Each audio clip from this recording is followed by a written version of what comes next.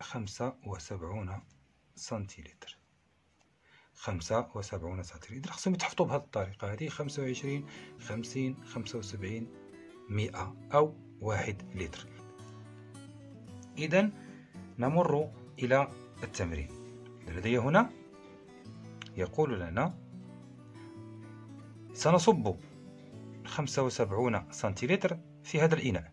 إذا إلى أين ستصل؟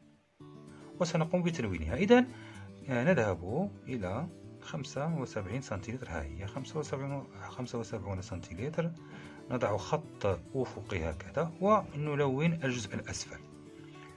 في هذا العصير لدينا واحد لتر أو لتر واحد. إذا عندما نصب هذا العصير في هذا الإناء سيصل إلى هذا الخط. واحد لتر. إذا نرسم خط خطا أفقيا نرسم خطا أفقيا هكذا ونلون الجزء الموجود في الأسفل. وهنا لدينا عصير به خمسون سنتيلتر كذلك عندما نصبه في الإناء سيصل إلى خمسين سنتيلتر ونرسم خطا أفقيا. كذلك هكذا ونلون الأسفل. إذا إلى هنا أتينا إلى نهاية هذه الحصة الأولى.